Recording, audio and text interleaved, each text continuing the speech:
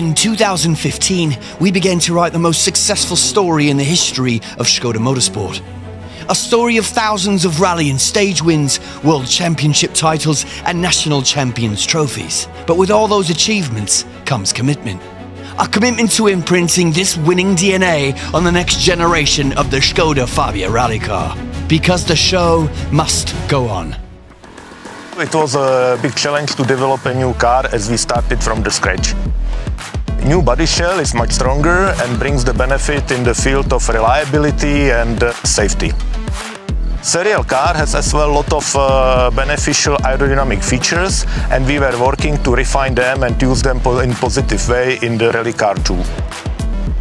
The newly used engine has uh, a lot of positive details which were used to improve the performance of the engine in the rally car.